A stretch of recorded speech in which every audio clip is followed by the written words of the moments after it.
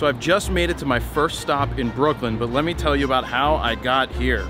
Now, I don't come to New York very often, so I don't really ride the subway, so I got directions. This is what I needed to do. I needed to take the A, C, or E to 14th Street. So I was able to do that. I got that. I got on the A, got off at 14th to transfer, then I had to look for the L. So I followed all the signs that said L with arrows going left, arrows going right, arrows going diagonally, and then that train takes you to Brooklyn. Then I had to get off at Lorimer Street, then find my way to my friend Adam's house. And I made it to Adam's place, and now look where we're at on the roof. So next stop, Adam, we are going to an undisclosed warehouse in Greenpoint. That, that's Brooklyn. We're gonna see if we can go hipster spotting because there's not any hipsters in this frame except for Adam. What's up, people?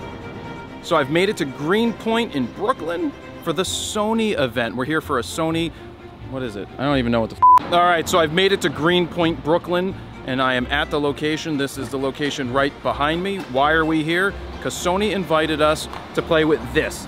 This is the RX0. Don't confuse it with an O. It's their new action camera that's one inch or has a one inch sensor. So we're gonna go play with it. We're gonna check it out and see what this party has to offer.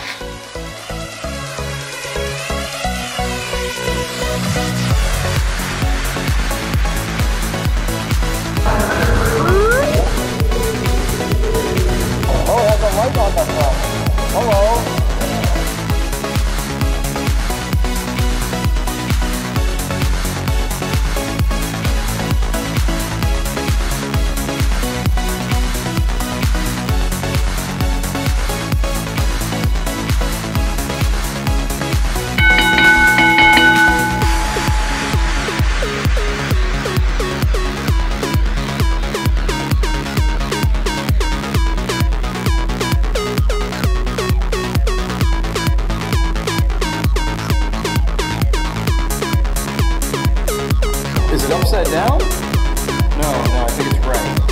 I'm just, oh, I, I wonder if I should be in near mode or far mode. I think now I'm in near mode. RX0.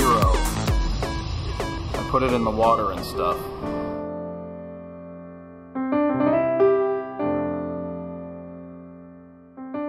So I'm actually standing at ground zero. I didn't realize I'd be walking past this, but that Freedom Tower is absolutely insane when you look straight up. And then this behind me is where the World Trade Centers were. This is the first time I've ever actually been down here. Uh, it's pretty, pretty insane. Oh boy, it's windy here in the park. Uh, let me let me tell you why I was up here in New York. The main reason is that I was sitting down with the people at Apple to learn more about the iPhone 8 Plus and its capabilities with its new 12 megapixel sensor.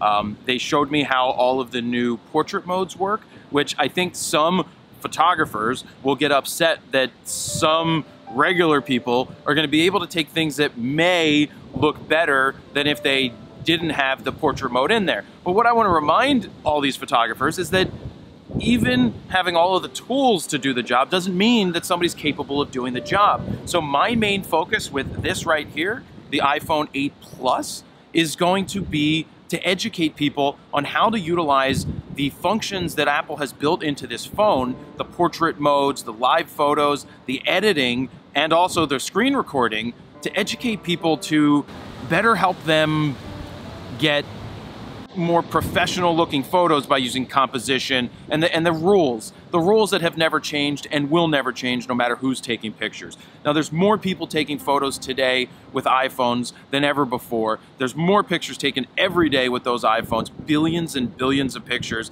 I just want to help people love photography and get better photos no matter what they're shooting with. So this has been a pretty quick trip up to New York City, less than 24 hours, uh, but I got to meet with Sony, I got to meet with Apple to learn about the iPhone 8 Plus and its capabilities, I got to ride the ferry, and I got to check out the, uh, the Freedom Tower. But now it's time to get back to Philly, but before we do that, if you haven't checked out the latest vlogs or the last vlogs that I've done, they're up on the screen right now on YouTube. If you're watching this on the Facebooks, please go ahead and give it a share, and don't forget to subscribe if you're on YouTube. I'm gonna go back to Philly.